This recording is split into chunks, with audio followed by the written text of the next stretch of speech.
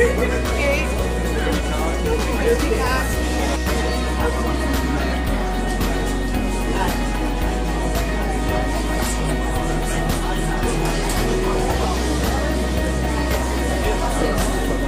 of those?